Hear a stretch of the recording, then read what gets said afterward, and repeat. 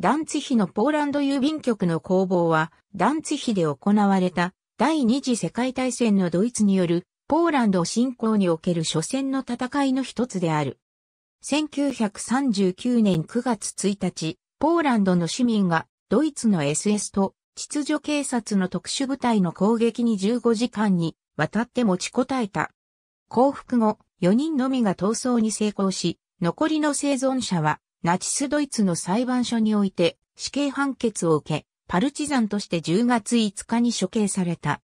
ポーランド郵便局の3番目の建物、1925年自由都市、ダンツヒのポーランド郵便局は、1919年にベルサイユ条約のもとに作成され、その建物はポーランドの資産で、違い法権であるとみなされていた。ダンツヒのポーランド郵便局はいくつかの建物からなっていた。1930年の時点では、旧市街にあるヘベリウシュスクエアのグダニスク1のビルが、ポーランド郵便局の中心となる建物で、そこにはポーランドへ直通の電話線があった。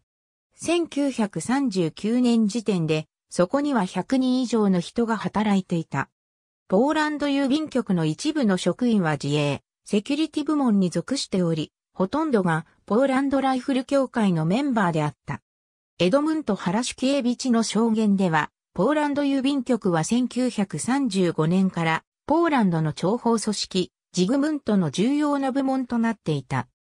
ポーランドとドイツの間の緊張状態が大きくなるにつれ、1939年4月に、ポーランドの最高司令部は、公平部隊を配置し、予備海軍中尉、コンラット・グデルスキをバルト海沿岸へ送った。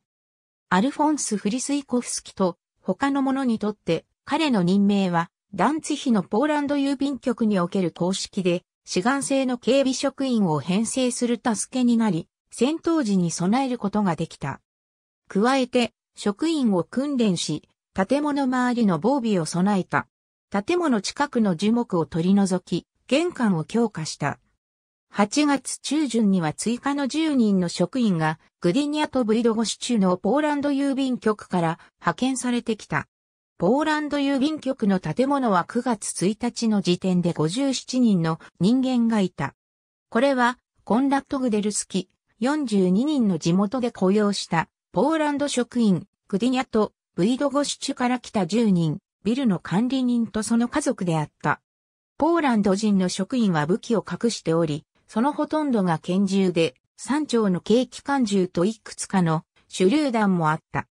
ポーランドの防御計画では、ドイツ軍から建物を6時間守ることを考えており、その後、ポモージェ軍からその地域の防御支援のための部隊が送られる予定であった。ドイツの攻撃計画は1939年7月に建てられた。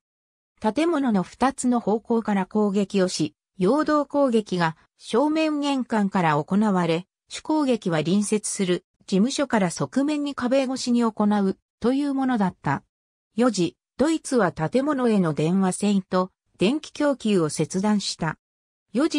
45分には、ドイツの戦艦シュレスビヒホルシュタインがベステルプラッテにあるポーランド軍の要塞に対して砲撃を開始した。ドイツ軍はポーランド郵便局への攻撃を開始した。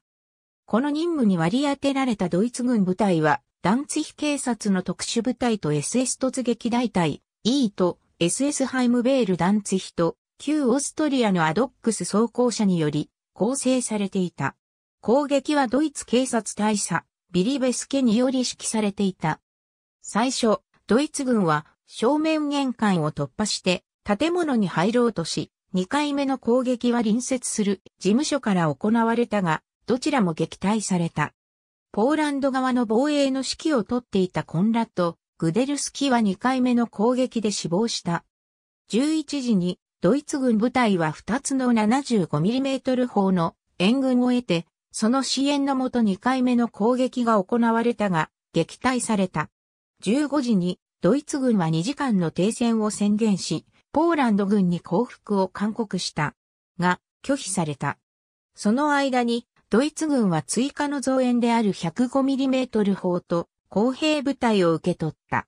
公兵部隊は壁の下を掘り進み 600kg の爆発装置を設置した。17時には爆弾が設置され、壁を破壊した。ドイツ軍部隊は3つの砲兵に支援され再攻撃を行った。この時地下室を除いた建物を占拠することができた。18時にドイツ軍は自動ポンプとガソリンタンクと火炎放射器を運び込んだ。それを使用して地下室をガソリンで焼き尽くした。5人のポーランド人が大火傷を負い、残りは幸福を選んだ。最初に建物を出た二人、白旗を掲げていたヤン・ミホン博士とユゼフ・ボンシクはドイツ軍に射殺された。残りのポーランド人は降伏を許された。グダニスクにあるポーランド郵便局の防衛の記念碑戦いが終わり、6人が建物から逃走した。そのうち2人は後日捕まった。16人の負傷者は市の病院へ送られ、6人はその後死亡した。残りの28人は警察の建物に収監された。数日後、ビクトリア州レに送られた。すべての捕虜は裁判にかけられた。9月8日に最初の28人が9月30日に病院から回復してきた10人が1938年のドイツ軍の特別軍事警報の下で全員がパルチザンとして死刑を宣告された。刑の宣告は検事ハンスギー・セックにより要求され、裁判長のクルト・ボーデが宣告、陸軍総司令官バルター・フォン・ブラウヒッチュ元帥がこれに署名した。弁護士による弁護は許されず、10月5日に銃殺が執行された。同様の運命は、都市の南側で、走行列車でビスワ川に架かる橋を確保しようと、試みた、ポーランドの鉄道員に対しても待っていた。ギーセックとボーでは、この件に関して責任を取ろうとしなかったし、法律にのっとった殺人に関して言及しなかった。二人は戦後のひなちかの後、法律家としての職務を続け、1970年代に生涯を全うした。唯一、1995年のリューベックにおけるドイツ法廷において、ハーグリック戦条約に違反した法律であるという理由がもとで、1939年の判決を無効にし、郵便局員の名誉回復が行われた。ポーランドでは、この話は第二次世界大戦の1939年9月の戦いの中でよく知られた話となっている。1979年には、ポーランド人民共和国のグダニスクで、ポーランド郵便局の記念碑の除幕式が行われた。ありがとうございます。